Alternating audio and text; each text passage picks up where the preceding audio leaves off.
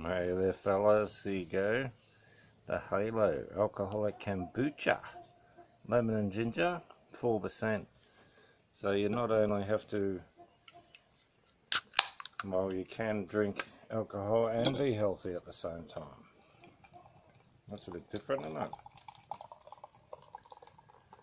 I haven't seen this before anywhere. Good idea, I reckon, because the bloody cans of kombucha at like three dollars fifty each. In Aldi, they're you know they're about three fifty in Aldi, and outside they're even more. All right. Well, that's all it is. Doesn't look the most appealing. Looks like kombucha a little bit. Kombucha. Cheers, everyone.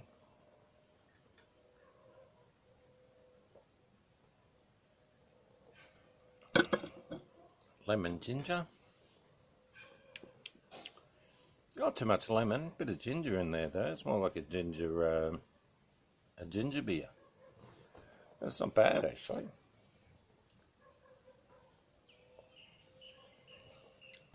Knowing that it's going to be good for the guts. That's one good thing.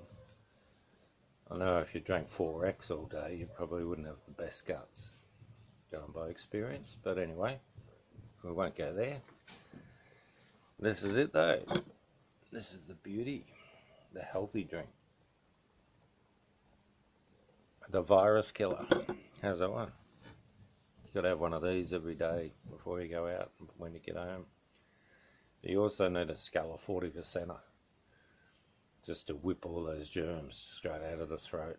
That's the important one. Alright, I've got everyone alcoholic and healthy. How's that sounding?